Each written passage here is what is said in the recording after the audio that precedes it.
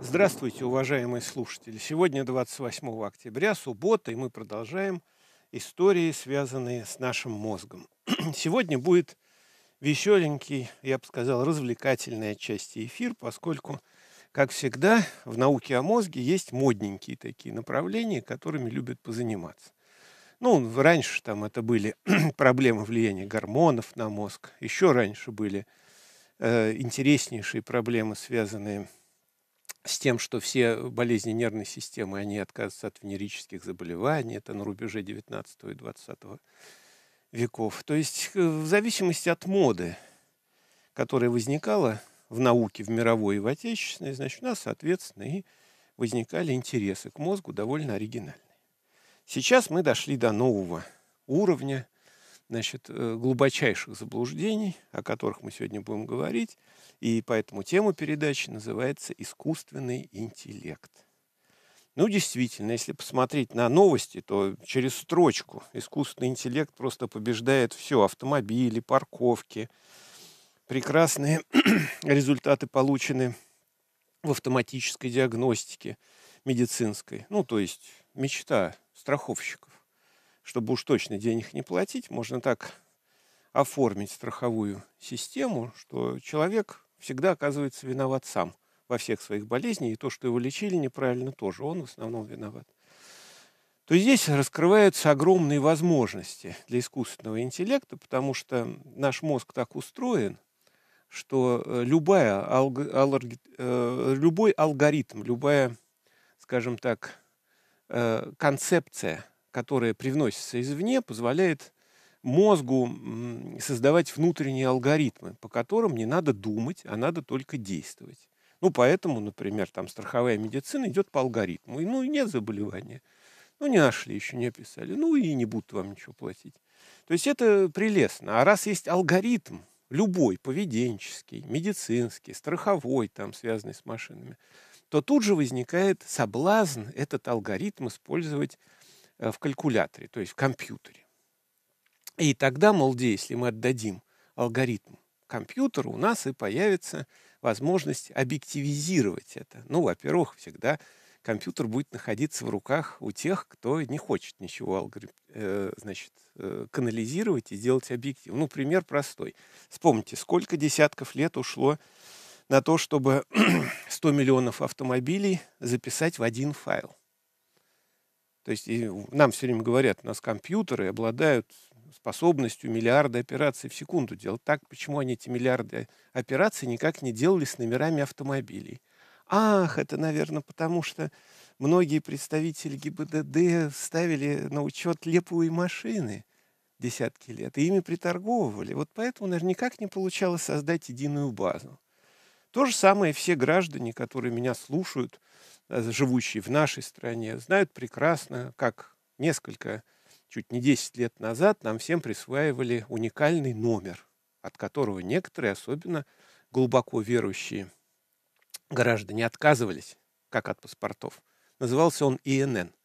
Помните, как нам объясняли, что это ИНН вам дается на, на всю жизнь, один-единственный, и теперь все, чтобы вы где-нибудь не заработали, вы должны в рамках этого ИНН отчитываться перед налоговой службой. Все, он будет сквозной, вечный и всегда так. Сегодня я прихожу в налоговую службу, ну, поскольку, как всегда, пришло три счета на одно и то же явление, три счета, и надо их оплачивать. Причем они пришли все на меня, но на разные ННН. Ну, я-то ничтожество, потому что, что у меня там 2-3 ННН, это ерунда. А граждане стоят, у которых 5-6 ННН. Это что, у нас 150 миллионов человек – это 150 миллионов индивидуальных номеров. Никакой компьютер справиться не может. Вы о каком искусственном интеллекте начинаете говорить? Если вы не можете номера машин, если вы не можете ИНН сделать, а для чего это? Почему это не будет делаться? Потому что компьютеры тут ни при чем. Компьютер-то сделает, только делать-то должны люди. Вот этим мы и займемся. Но действительно, прогресс кое-какой есть, кроме того кошмара, о котором я вам говорю, с которым каждый слушатель сталкивается каждый день, который говорит о том, что до искусственного интеллекта как пешком из Москвы до Китая. Почему? Потому что раз такие простейшие вещи, которые может сделать компьютер там эпохи 286-х машин, там 20-летней давности, конечно, сейчас должно быть налажено как часы. Но этим и не пахнет. И пахнуть еще будет, не будет очень скоро, долго, потому что придется разбираться вечно странными людьми, потому что чиновников 6 миллионов человек, и у них еще родственники, то есть это все увеличивает сразу минимум до 10 миллионов. Ну и прокорм-то должен надо где-то брать. И по биологическим законам распределение колбасы будет всегда в их пользу. А отсюда никакой искусственный интеллект не поможет. Но в мире все не так плохо. Amazon объявил, что в Германии образуется голосовой помощник, который будет э, использовать, использоваться для анализа обслуживания. То есть, ну, иначе говоря, для того, чтобы продавать людям разные предметы более эффективно. То есть, обращаю ваше внимание, это голосовой помощник по изъятию из ваших кошельков ваших денег, а не для того, чтобы вам было удобно жить. Значит, 75% при этом инженерно-технического персонала во всем мире, которые опрашивали, считают, что искусственный интеллект – это огромное достижение человечества. И то, когда он появится, то все будет очень хорошо. Хотелось бы сказать, что большинство как раз инженерно-технического персонала, если будет развитый хотя бы искусственный интеллект в том понимании, которым сейчас есть, глубоко неправильным, то они останутся на улице. Более того, дело докатилось до невероятных результатов. В Объединенных Арабских Эмиратах назначен первый министр по искусственному интеллекту. Ну, я догадываюсь, что, наверное, в Арабских Эмиратах искусственный интеллект действительно крайне востребован. Но, тем не менее, господина Аламу сделали министром. Ну, зарплату, думаю, повысили, если она ему нужна вообще. Мне это напоминает создание бесподобного нанотеха.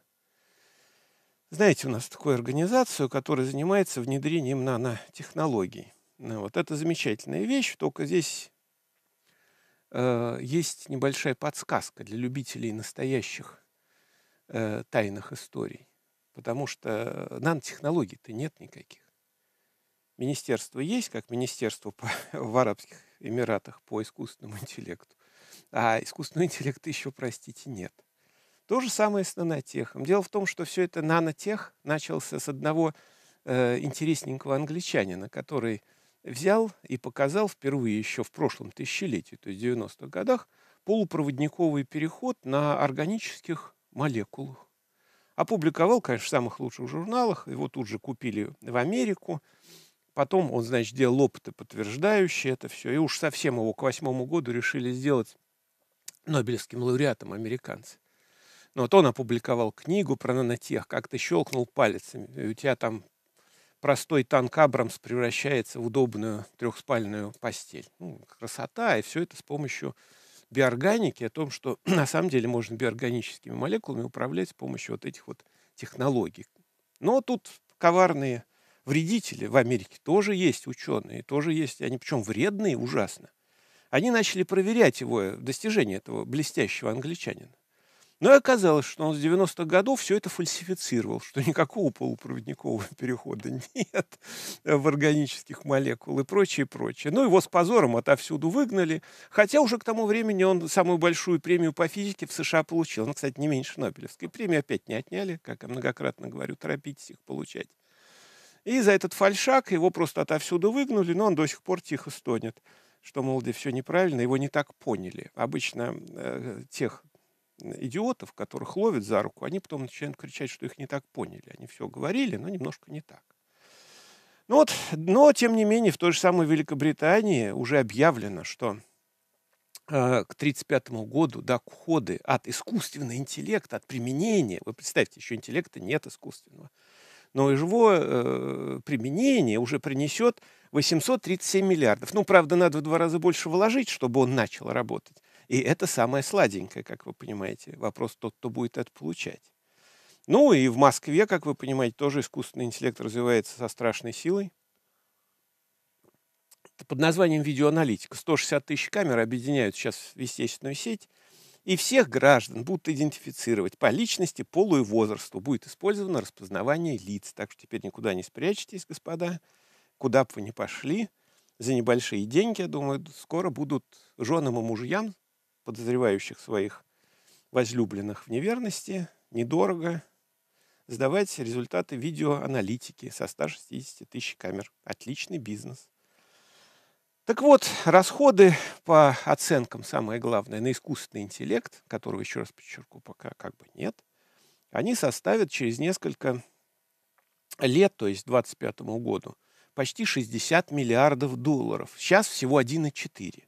И вот на этот лакомый кусок бросилось огромное количество прохиндеев и всяких странных людей, которые пытаются на этом заработать. Деньги большие. Но самое главное, что искусственный интеллект, это, в общем-то, подразумевается некая система, аналогичная мозгу. И Intel тоже остался в пределе, он тут же создал нирвана, нейрал процесс. Вы можете представить, это будет то есть, нейральный процесс, отправляющий вас в нирвану, вот можно так понять, который будет проводить э, ориентирован специальный чип, то есть ядро компьютера, который будет проводить машинное обучение и самообучение.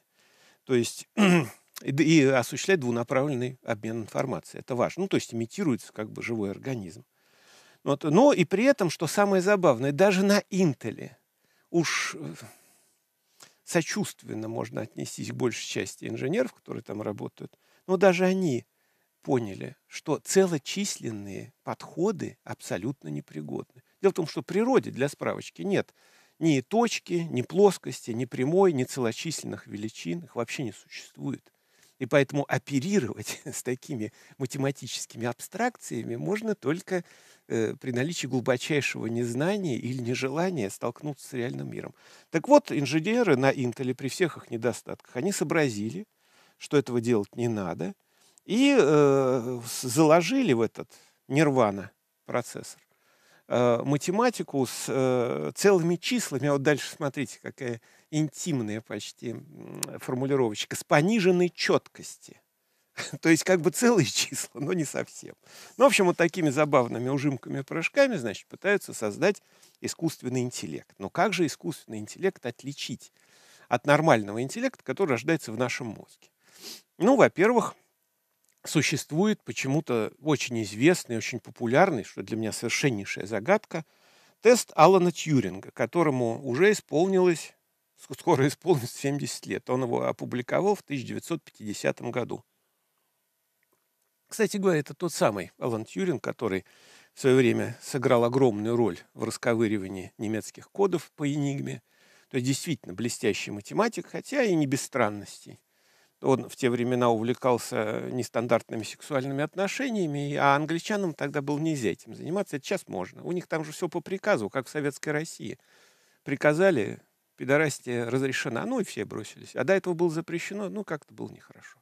Но его поэтому отовсюду выгоняли, всячески третировали, преследовали, и ходят байки о том, что он насыпал яду и куснул яблоко. И э, по этой причине на всех айпадах, айфонах яблочко надкушенное. Apple Macintosh взял за свой символ. Поэтому, когда видишь, идет человек с таким надкушенным яблоком в руках, как-то возникают какие-то сомнения относительно его ориентации. Но это другое дело. Самое главное, что Тьюринг при всех своих странностях, он был действительно выдающимся математиком, прекрасным мыслителем. Он предложил, собственно говоря, для 50-го года прогрессивную систему. Он предложил различать, может ли машина мыслить или не может. И для этого он придумал так называемый тест Тьюринга. В чем он состоит? А состоит в том, что сидит человек, и с ним через невидимые и неслышимые перегородки общается машина и другой человек. Он им задает вопросы, и, значит, соответственно, машина и человек должны ответить. Вот если он не различит, где машина, где человек, все, у нас есть искусственное мышление. Вот хоть стой, хоть падай. Это называется тест Тьюринга. И потом, естественно, конечно, дружные последователи, которые, значит, высовывают языки от всякой простецкой мысли, они, значит, уже придумали обратный тест Тьюринга, то есть когда машина и человек меняются местами, тест бессмертия, метатест Тьюринга, еще выдвинули премию Хаттера, это о том, что компьютер, когда начнет осмысленно сжимать пространный текст, некоторым нашим сочинителям диссертации это было бы полезно, но вот то, мол, где тогда он обладает интеллектом. Вот такие глупости значит, предлагаются в качестве оценки машины. Ну, естественно, как вы понимаете, это же ведь э, при э, таком подборе, когда вы работаете со словами, лингвистическими конструкциями, слов и их значений финальное количество, даже при эмоциональной окраске, всегда машину можно научить распознавать по, трем, по тембру, запинаниям и прочего э, смысл, так сказать, дополнительные смыслы. Все это конечно, все это вычисляется, ну, как шахматы когда создали компьютеры там минимальные 20 лет назад, тут же в шашки перестали играть на чемпионатах мира. Вопрос, почему? Да потому что там перебор вариантов, комбинаторика. Компьютер тут же стал всегда выигрывать или всегда сводить в ничью. Ну и что? Все, весь интерес пропал. Ведь были чемпионаты и 64-клеточные шашки, и 100-клеточные. Там были шведские чемпионы, там все это с медальками, с фанфарами, там все как надо. Ну а теперь, поскольку те шахматы это просто более сложная комбинаторика, большее количество вариантов с повышением памяти и с повышением э, скорости перебора вариантов, стратегии развития там очень хорошо описаны, алгоритмизация, то есть то, с чего я начал. Она проста достаточно, вопрос памяти и емкости компьютера. Они тут же стали выигрывать. Все. И как только они выиграли, естественно, моментально был доказан с помощью Тьюринга. Почему это доказательство? У Тьюринга уже спросить нельзя. Но тем не менее, ну вот это, в общем, глубокое заблуждение о том, что таким способом можно отличить человека от машины, это есть критерий мышления. Значит, еще в 2015 году, кстати говоря, это сделали довольно забавно. Сделали наши математики в Санкт-Петербурге, написали такую программку, которая выдавала себя, что особенно забавно, за одесского мальчика. Что особенно веселит – ну, вот его в 2014 году уже был этот тест Тьюринга пройден, но искусственного интеллекта как не было, так и не появилось. Э, вот. Э, ну и в 2017 уже дело пошло, естественно, прогрессивные европейцы у нас достигли совершенства. Они э, узаконили в феврале 2017 года искусственный интеллект. Поздравляю с чем. То есть ничего смешнее придумать нельзя. А теперь посмотрим, что скрывается за этим самым искусственным интеллектом. Значит, что, собственно говоря, предлагается к принятию решений? То есть то, что мы называем искусственным интеллектом. То есть принимать бытовые решения, простые. То есть в, в рамках жестких алгоритмов, которые нужны. То есть, ну вот есть набор законов, да? Ну и человек живет в этом наборе законов. Может машина соблюдать эти законы? Конечно. Потому что их очень мало – правоприменительная практика ограниченная, особенно в таких странах, где мало опыта судебных, судебных тяжб и сутяжничества всякого. Ну и все, машина закладывается. Действительно, судейских можно давным-давно удалять оттуда. Потому что зачем? Тут набор-то минимальный. Машина может сравниться с судьей? Конечно. Потому что если мы ее научим распознавать, значит, особенно всякие детальки интонационные, то все будет вообще хорошо.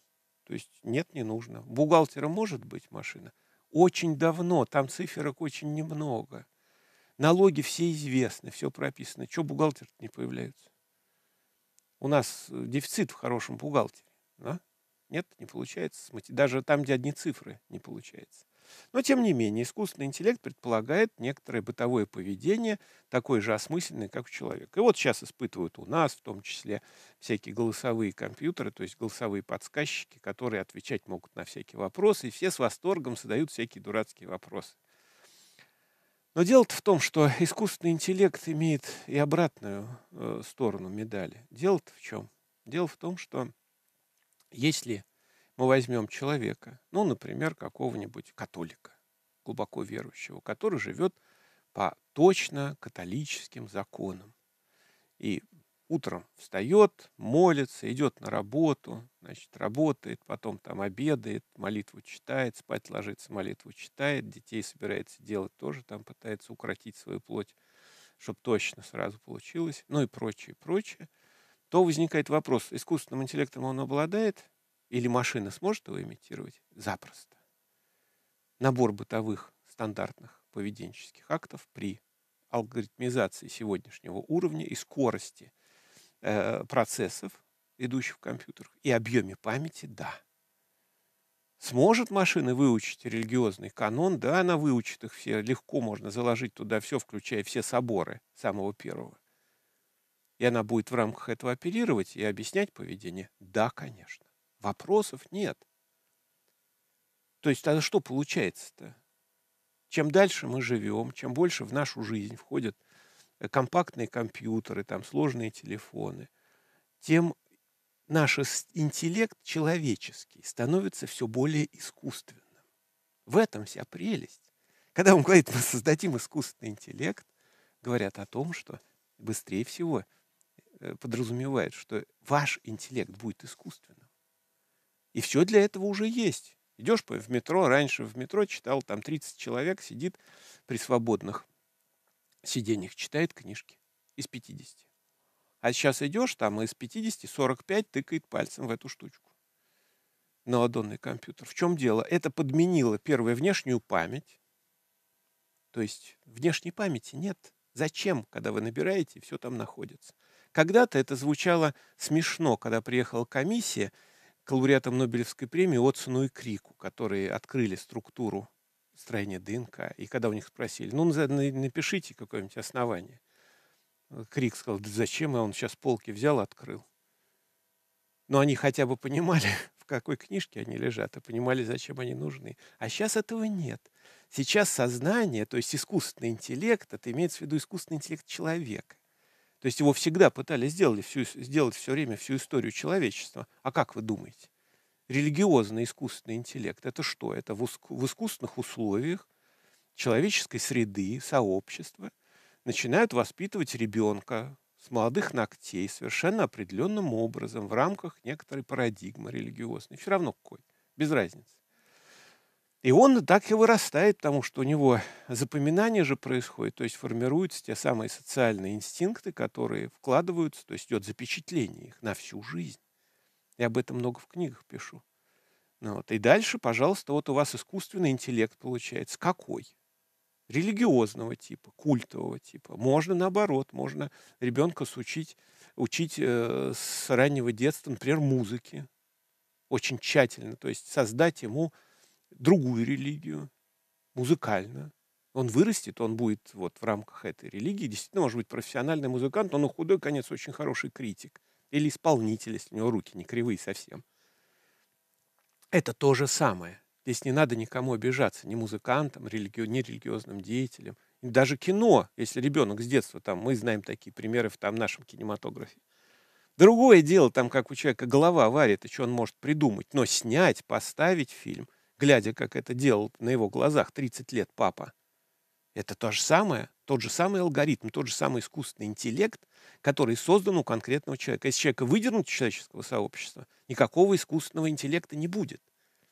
И э, опыт показывает. Э, жизнь Маугли в лесах, которые возвращаются, там никаким искусственным интеллектом не пахнет. То есть, иначе говоря, есть как бы двунаправленное явление. С одной стороны, у нас с вами наш собственный интеллект, если понимать его, как мы его понимаем сейчас, а не по высшему гамбургскому счету, о котором будет речь после перерыва, то у нас искусственный интеллект, у нас у всех искусственный интеллект. Степень его искусственности предопределяет масштабы контроля за населением. Вы можете создавать искусственный интеллект у населения, тот, который вам нужен, а с помощью этих штучек на ладонных компьютеров, прочих телефонов делается очень хорошо и эффективно. Сами туда лезут, учить не надо. И дальше остается только подавать соответствующий контент. А если кто-то думает, что он является результатом всеобщей свободы, то мне очень жаль. Я боюсь, что у вас действительно сложился полностью контролируемый искусственный интеллект. С чем вас и поздравляю, поскольку в этом плане искусственный интеллект на этой планете давным-давно есть, а последние 10 лет так и процветает, поскольку все, что вы делаете, на самом деле заложено в вас с помощью специальных инструментов, которые вы сами хватаете, запихиваете свой мозг принудительно, хотя он иногда сопротивляется, но не сильно. А сейчас переходим к новостям. Мы продолжаем нашу передачу и теперь попробуем рассмотреть не в рамках тюринговской модели, а в, в рамках так сказать, э, биологии и естественных наук, значит, которые были бы поближе к телу и к мозгу. Но э, прежде чем начать, здесь пришло смс-сообщение, очень точненькое, точно в нашу тему. Значит, ее передал Вадим Родин, но он спрашивает, что вот когда мы перешли точку экстремума, после которой начали деградировать и возвращаться к обезьяньим предкам. Почему так, значит, дело пошло, и когда-то мы вроде бы были людьми. Ну, во-первых, людьми были не все. Я еще раз повторю, читайте мои книжки. Дело в том, что появление человека одаренного и талантливого не связано ни с наследственностью, ни с средой, нигде особая комбинация строения мозга может возникнуть в любой среде. То есть это может быть как среди там, императоров, так и на любой последней помойке. Это не имеет значения. Мозг настолько индивидуально изменчив, что талантливый человек может появиться везде и всюду, в любой нации, любых народов, в любой среде абсолютно. Вопрос в другом, его найти бы и дать ему реализоваться. А началась вся эта история где-то активно около 30 тысяч лет назад, а последние э, несколько, 5-7 тысяч лет идет очень интенсивно, потому что наш мозг, как я уже говорил, но не наш, а европейский, к нашему счастью, потерял около 250 грамм общей массы. Это несколько миллиардов нейронов, так что вот как хотите, так и воспринимайте. Что было, то было. И неандертальцы, и Сапиенсы, когда появились, обладали мозгом примерно в 1650 грамм, а сейчас средний по планете, ну это как температура по больнице, 1320 грамм. Вот и считайте, как мы развиваемся. Понятно, что это механизм известный искусственного отбора, мной многократно отписанный в книжке «И нищета мозга», и «Церебральный сортинг». Как это происходило? Читайте, потому что передача не позволяет передать все детали, которые хотелось. И чтобы жить в нормальных условиях, надо себе отдавать, что происходит, отчет о том, что происходит. Вот искусственный интеллект. Человеческий искусственный интеллект настоящий момент, то есть человеческий, дошел до своего э, уже прекрасного рубежа. Ну, приведу пример. Я как-то здесь встречался с Пучковым, который гоблин. Там мне нужно было минок препарировать. И мы с ним обсуждали некоторые вопросы, в том числе там приводил всякие примеры, эксперименты научные, связанные с головастиками. Там у них тироксин, если добавляешь воду, что известно с начала 20 века, как только тироксин открыли, выделили щитовидные железы. Они начинают быстро расти, у них уменьшается хвост, э, значит, вырастают лапы, они быстро проходят метаморфоз, там, в два раза быстрее. Это давно известный эксперимент.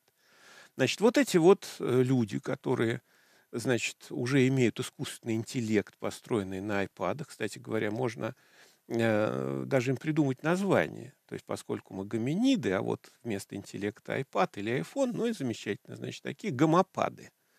Вот, значит, эти самые гомопады, значит, тут же решили уесть э, проклятого профессора, то есть меня.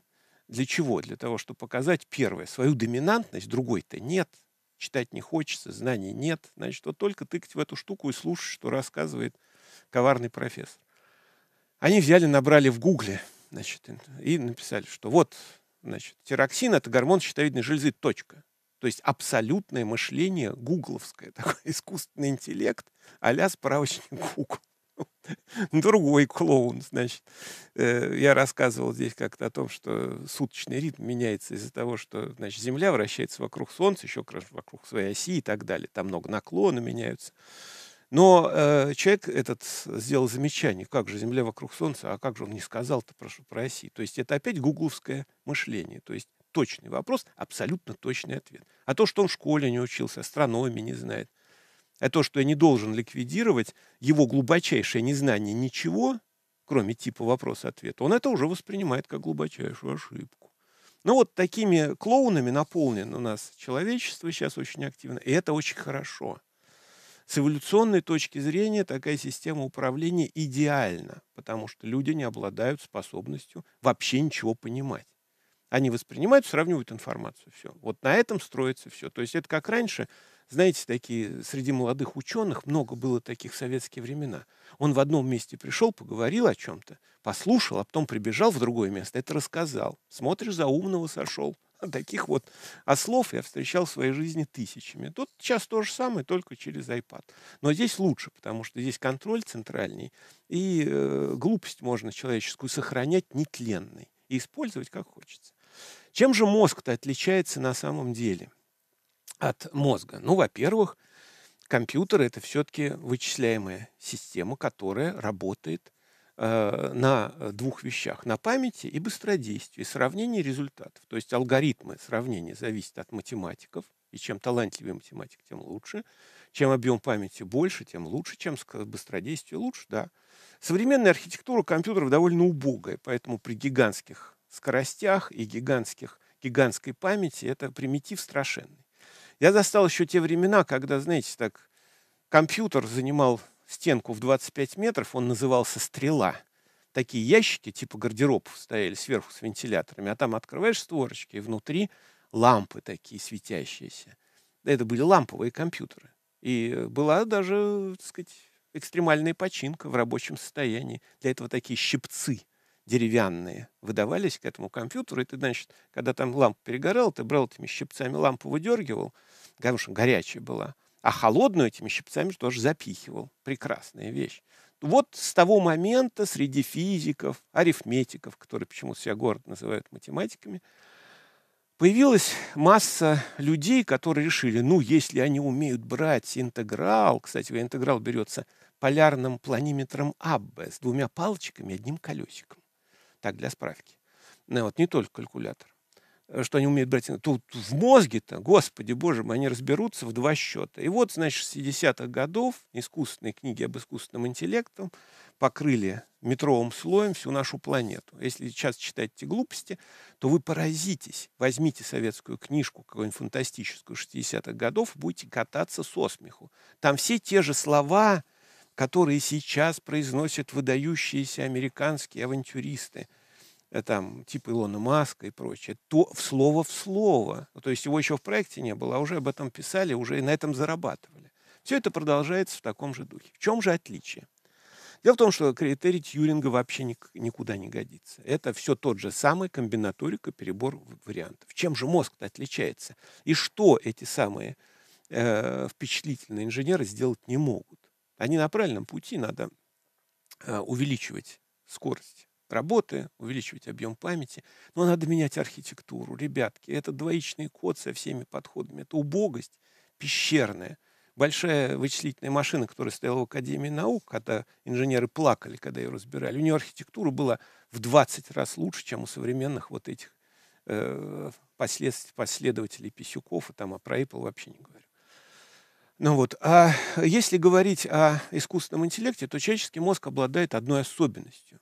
Э, он может создавать то новое, чего не было в природе и обществе. Вот никакой компьютер этого создавать не может. То есть у нас не искусственный интеллект, а искусственное справочное на самом деле, которое, да, в четком алгоритме, значит, увидел за 150 километров вражеский корабль, ракета рассчитала маршрут, учла помехи, взлетела и воткнулась. Все.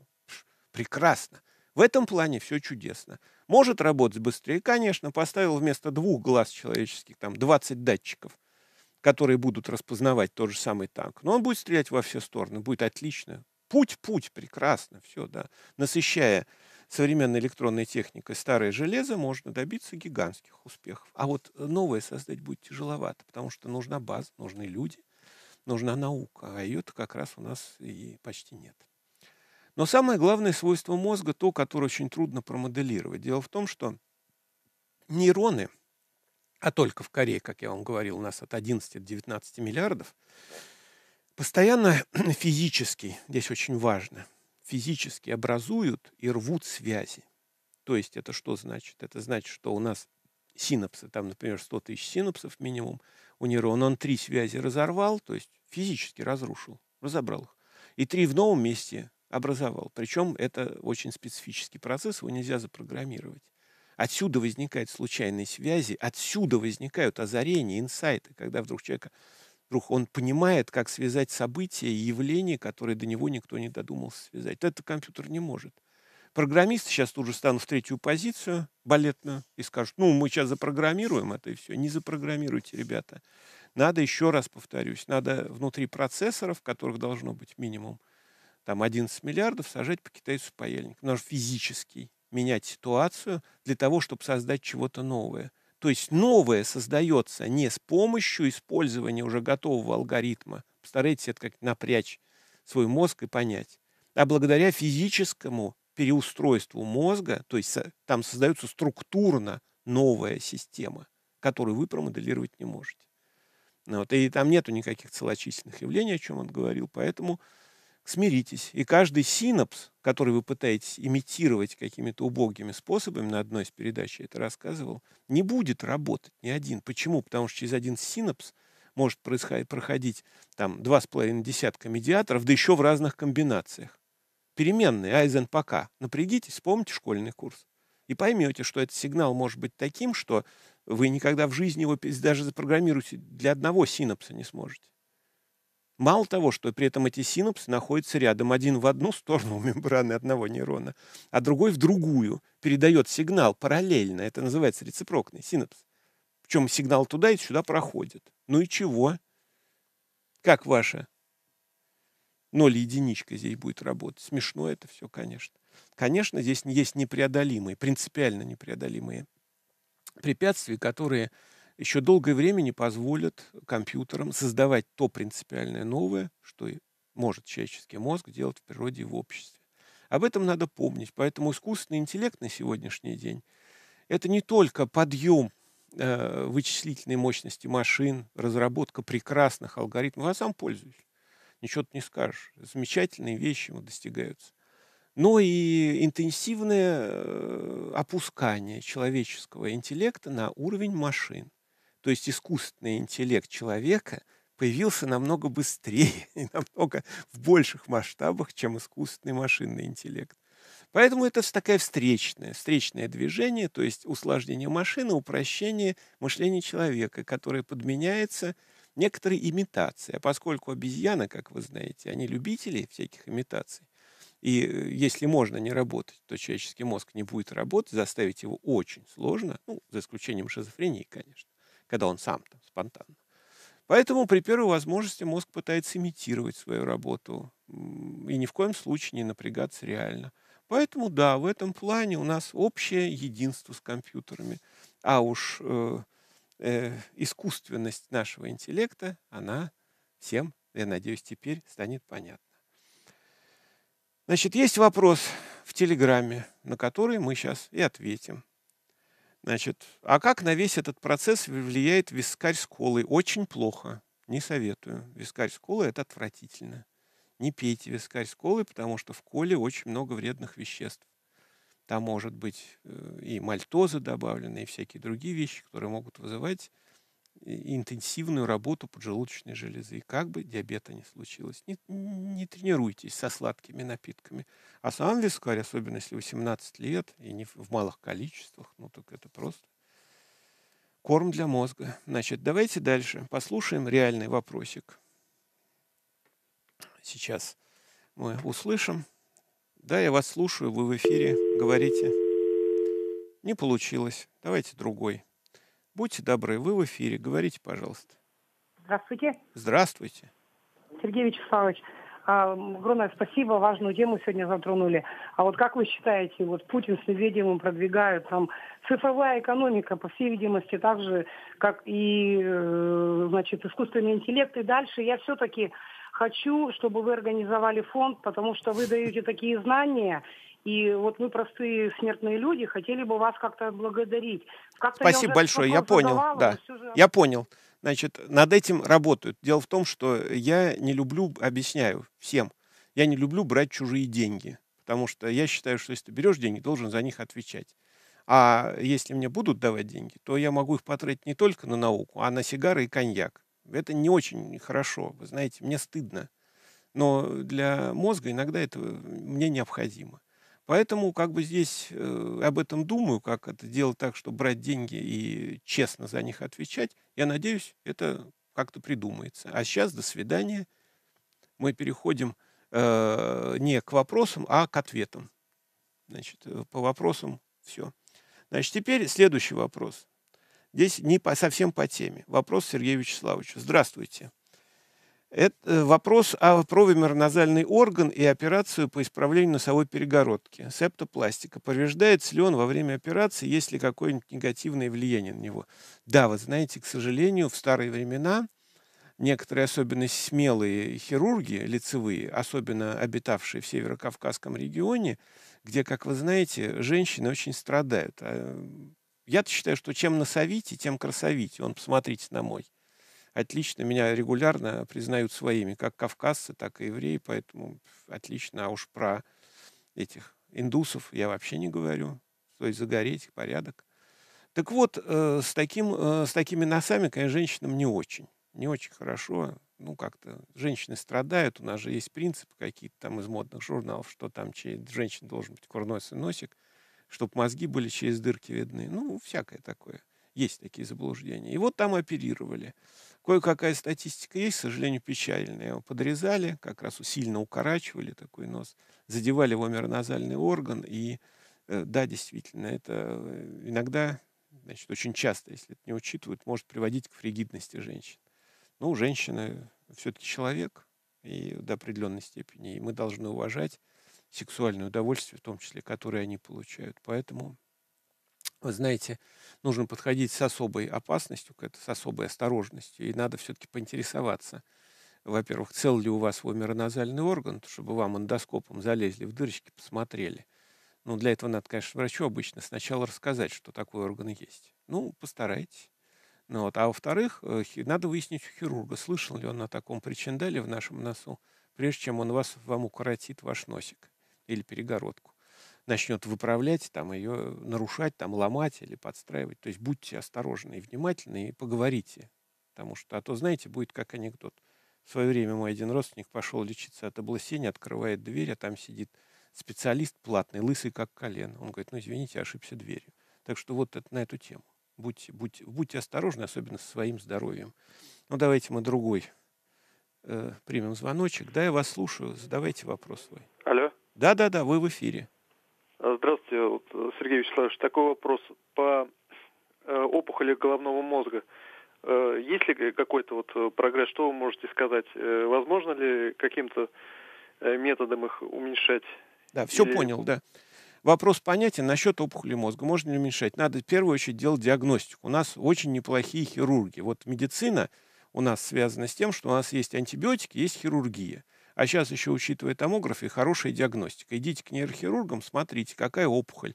Если опухоль капсулированная, то есть у нее вокруг есть оболочка хорошая, то есть она изолирована от мозга, то э, можно ее просто удалить и все, и не морочиться, и ничего плохого не будет. Ну, вот это у нас сейчас делают. Очень хорошие есть хирурги, причем по всей стране, не только в Москве. Э, вот, замечательные ребята, которые под контролем современных приборов, там под КТ могут вам сделать идеально эту операцию.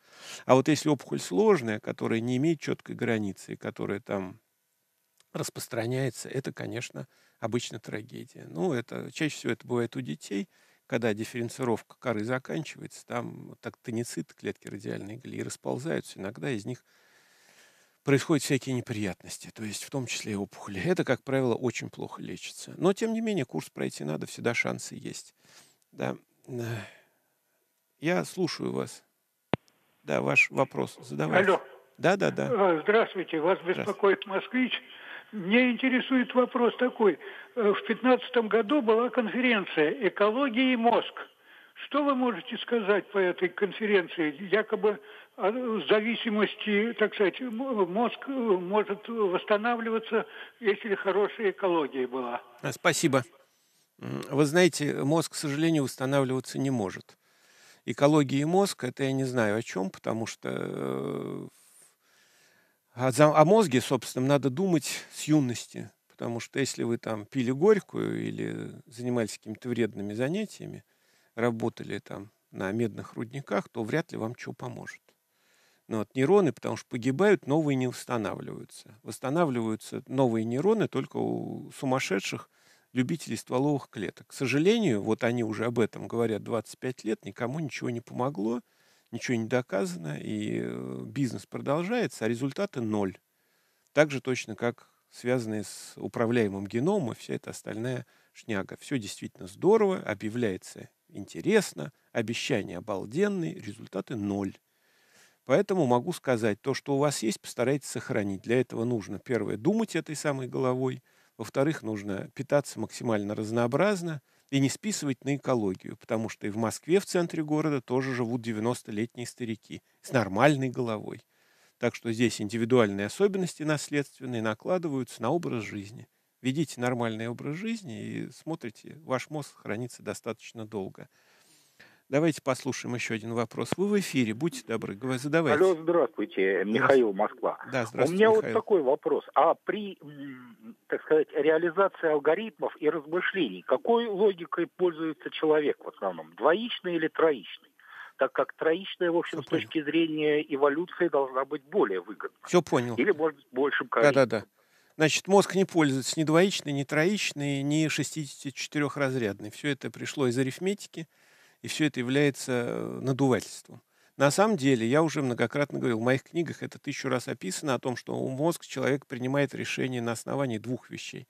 У нас двойственность сознания. Биологическое, которое нам досталось по наследству от наших предков, и социальный набор социальных инстинктов плюс традиции, то, что вам привили с детства. И вот эти две системы сталкиваются между собой. С одной стороны, вы хотите стать вечной обезьяной, богатой, жирной, красивой, значит, или там богатой, стройной, иметь много там женихов или невест, размножаться как таракан и прочее, прочее, и при этом жить на Гавайях, там, чтобы там 20 человек вас обслуживали. Вот это такой обезьяний рай. Это вот то, что нам досталось от приматов, и это в каждом человеке есть больше или меньше. И, но э, есть социальная система отношений, которая воспитывается в, де- в детях. То есть дети, на самом деле, конечно, очень плохо воспитываются, они запечатлевают, как животные, наборы социальных форм поведения, которые видят за родителями окружающими. Постепенно они накапливаются. Я недавно выступал с большим докладом на эту тему. К сожалению, этот доклад он не будет никогда вывешен ни в какой открытом доступе. Значит, эта система накапливается постепенно социальных инстинктов, и человек ведет себя, сравнивая все время вечно между социальными обязанностями и инстинктивными желаниями. Отсюда вот эта двойственность бесконечная. Хочется одного, вынужден делать другое, получается, ни этого не получилось, ни того не получилось. И, а у подростков, у которых половые гормоны еще на все это накладываются и скачут в их головах, как зайцы, то получается бог знает что. И здесь это не зависит ни от социального уровня человека, ни от богатства, ни от, да, да, ни от сексуальной ориентации, вообще ни от чего, это тут ни при чем. Это двойственность сознания, на котором построены, кстати говоря, все религии. Потому что есть ад и есть рай. Вот и бомбится между этими двумя. Все зависит от индивидуальности человека, от его особенностей мозга. Поэтому здесь как бы однозначно эта проблема не решается. Давайте еще на один вопрос ответим. Будьте добры, говорите, задавайте вопрос. Вы в эфире. Алло. Да. Здравствуйте. Вот такой вопрос. Есть ли реальные какие-то инструментальные методы диагностики болезни, болезни Миньера, кроме аудиографии? Потому что она показывает, что все нормально. А приступов вот уже три было. Да, понятно. Вопрос э, насчет болезни Миньера. Значит, нужно сделать Э, я не знаю, как в нашей замечательной стране, но существует такой РНА-анализ, который позволяет анализировать э, в том числе и генетические особенности индивидуального человека. Можно попробовать. Я не уверен, что это даст результат, потому что физиологические критерии часто могут не работать на разных фазах заболевания и в разных, при разных особенностях. Надо разбираться. Надо делать, э, если уж вы беспокойтесь о своем здоровье, надо делать хороший широкий генетический скрининг, раз есть подозрение. Во-вторых, нужно пройти диагностику, еще не просто молекулярно-генетическую, но и биохимическую, гормональную и все остальное. И самое главное, сделать особо тщательно функциональный КТ или ПЭТ на мозге с введением э, соединений, которые проходят через кровь. То есть, чтобы видеть, что там внутри происходит, нет ли там проблем. То есть, вот при, после такого анализа можно тогда задавать вопросы. А физиологический анализ, ну, ну слушайте, ну, я знал людей, которые так имитировали э, видимость цветов, которые были конченными дальтониками, что ни, один, ни одна комиссия не могла их различить. На этом мы сегодня с вами прощаемся и переходим к новостям. До свидания, дорогие слушатели.